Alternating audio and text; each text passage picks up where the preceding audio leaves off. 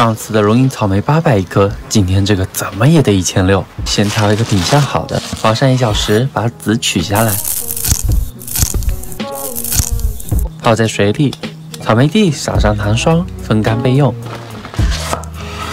草莓切丁，加入白糖，翻拌均匀，包上保鲜膜，放进冰箱冷藏一晚。过滤出草莓糖浆。剩下草莓也不要浪费，加入柠檬汁，熬煮出全部的汁水，再一次过筛，滤掉果渣，剩下果浆，趁热放入吉利丁，搅拌均匀后倒入模具，放入冰箱冷冻凝固。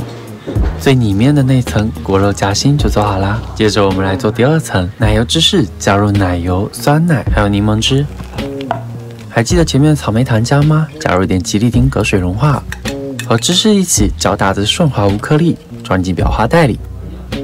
模具里先挤上一半，放入之前冻好的夹心，再挤上另外一半，摔打一下，蒸出气泡，放入冰箱冷冻。接着是第三层，草莓加糖加水，这里要注意水不要太多。